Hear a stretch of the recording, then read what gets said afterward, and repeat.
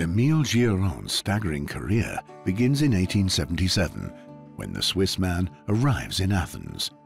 The city is undergoing an astonishing revival during this decade.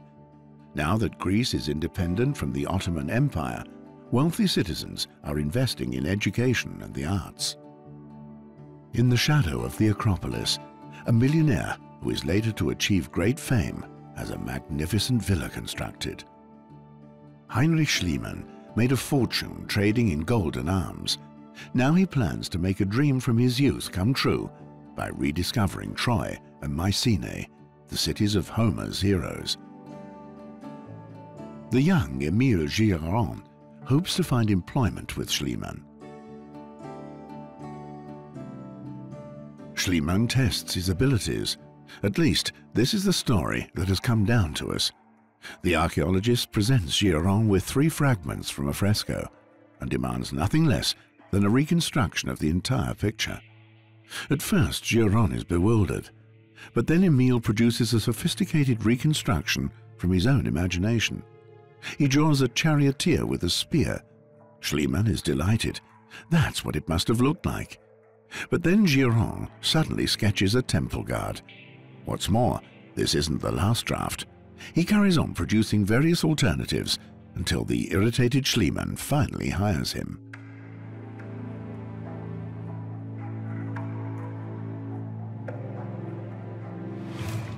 After Schliemann's death, Arthur Evans has Gilliéron brought to Crete. Evans has experienced a stroke of good fortune. Not long after starting the excavations, he made some significant finds. Now the fragments need to be reconstructed. Emile Gilliéron can carry on in Knossos in the same way that he worked for Schliemann.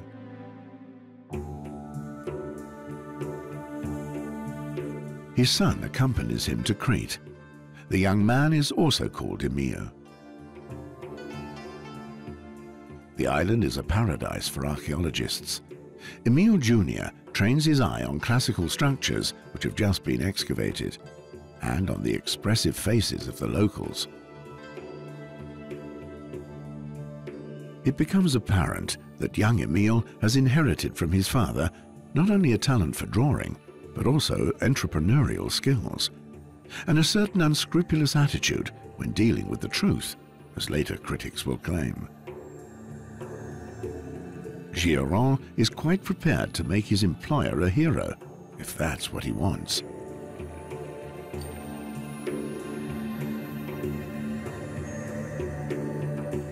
Emile Jr. draws incessantly, neatly, and with an obsession for detail. Years later, he will take his father's place in the team that is tirelessly excavating Knossos. For four decades, father and son Gilliéron dominate the image of ancient Crete that has become known worldwide and is still popular today, despite its discrepancies, that of a paradise island in the midst of the wine-dark sea, a fair land and a rich, begirt with water, as the poet Homer proclaimed. The French Archaeological Institute in Athens is a meeting point for artists and scientists. Its director is Alexandre Farnoux. Only a few days ago, the archaeologist gained access to the former private archives of the Gilliéron family, so he can provide an expert evaluation. This is the order book of Gilliéron Sr. euh, It's the original form of the catalogue used by the Gilliérons to offer copies of the archaeological finds. euh, utilisé par les Gilliérons pour produire des facsimilés. This book contains all the important objects discovered during the excavations, On voit tous les objets importants complete with photographs of the restored pieces des and explanations. restaurés et d'une légende Here, for example, it says vase from Pylos, documented by the former German archaeologist Müller. Then it states the size of the vase and price. les dimensions du vase et le prix du vase.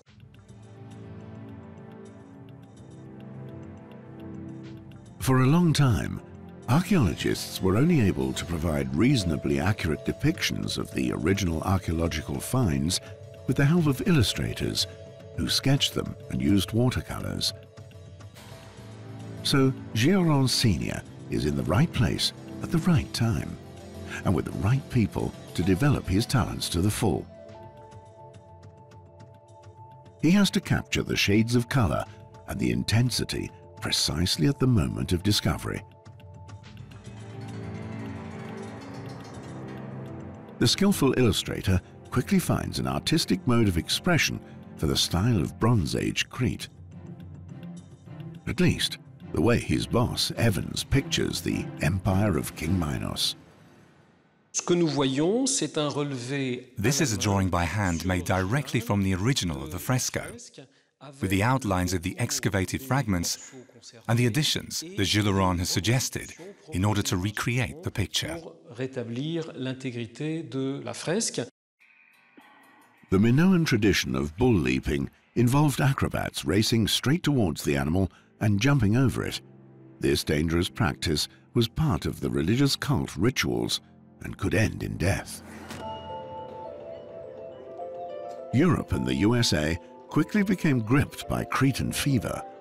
The newly discovered works of art inspire artists and fashion designers, although others dismiss it all as merely a kind of archaeological fantasy land. The Gilles produced drawings as if on a conveyor belt, which they then embellished with watercolors. Here's the famous detail from the procession fresco. It was a kind of exercise in graphics, which was then reproduced and sold everywhere in Europe. The Lily Prince is a revealing example of Gilliéron's working method. Gilliéron simply reinvented the figure. In the case of the Lily Prince fresco, we now know precisely that it has in fact been composed from completely different frescoes. Gilliéron did it because that's what Evans wanted in order to illustrate the Minoan Empire. And we experts are still impressed by it, even though the background is much better known today.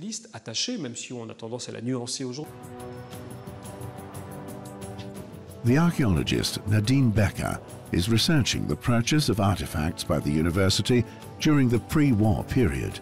The Winckelmann Institute is proud of its lavishly made copies from the Gilliéron workshops.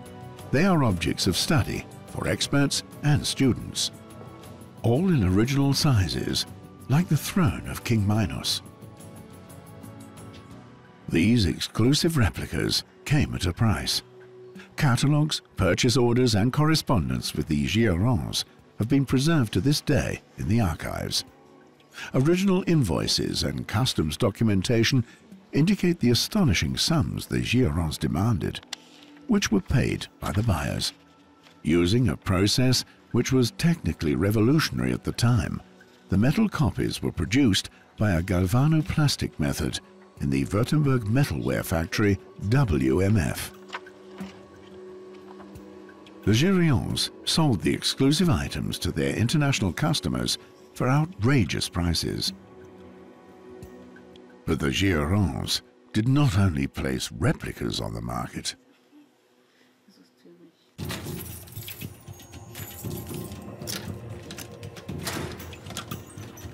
Experts at the renowned museums of Boston and Toronto have also found indications of criminal activities.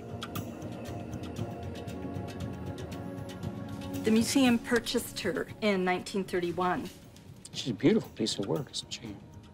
Sir Arthur Evans called her Our Lady of Sports. You know, another interesting thing here is the fact that she's wearing this gold cod piece. Now, that cod piece, in fact, is a penis sheath. Oh, not quite appropriate. Not entirely appropriate. And it's also interesting that the majority of the ivories that turned up, you know, early in the 20th century AD are female figures.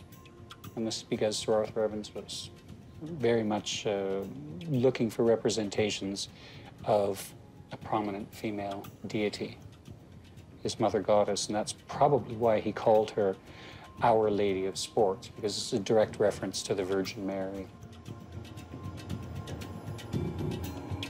The Museum of Fine Arts in Boston.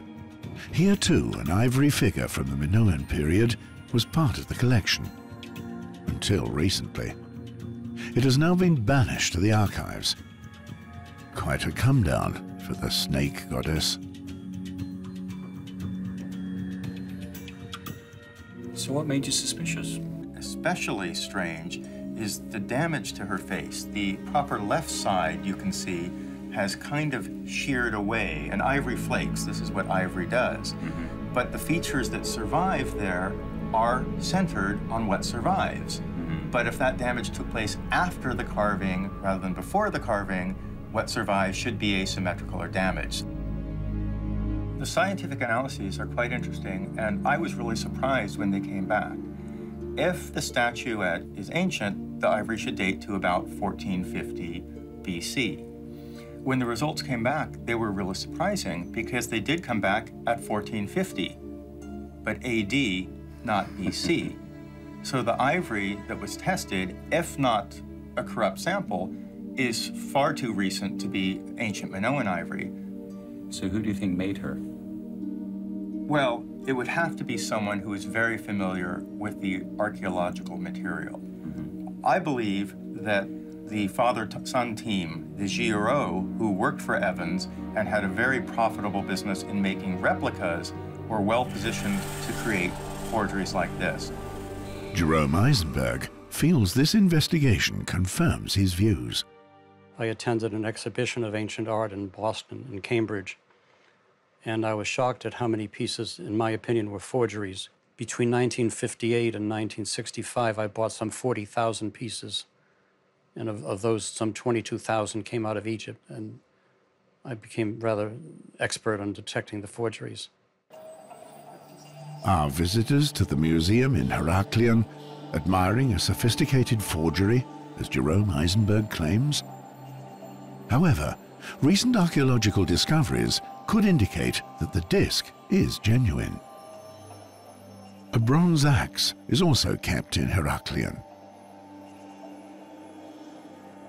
On the head of the double axe, there are three lines with overlapping signs engraved upon them. Linguistic experts like Gareth Owens see a parallel here with the stamped symbols on the disc. Gareth Owens and his colleagues have withdrawn to within sight of ancient Phaistos in order to resolve the last mystery of the oldest script in Europe. Now he believes he has finally achieved the breakthrough he considers that the text on the disc can be deciphered and read.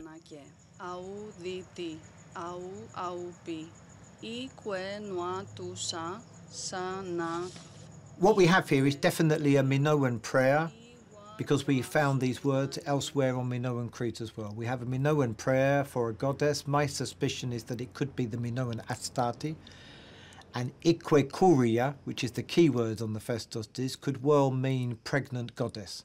Ique is known from Linear B to be the word for goddess, and Kuria, Kyria could be the word for pregnant. This wouldn't be surprising when we think that the words on the Phaistos disc were also found on the top of mountains, where Minoan people were making dedications, tamata, to the goddess on the top of the mountains, another attribute of Astarte. She is the queen of the mountain. Mount Juktas towers over Knossos. The mountain is a magical place. It is said that the father of the gods, Zeus, is buried here. For thousands of years, people have been attracted to the mountain peak, which, from a distance, resembles a sleeping man. Gareth Owens also returns to this place repeatedly on one side of the mountain, an Orthodox chapel with three naves was constructed.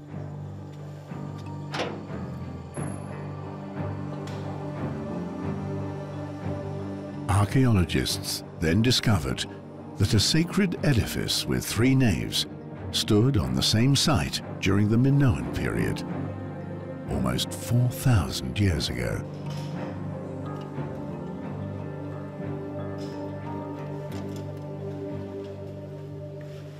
Fascinating to look at the offerings and think that what the Greek Orthodox people are doing today is similar to what the Minoans were doing 36 centuries ago.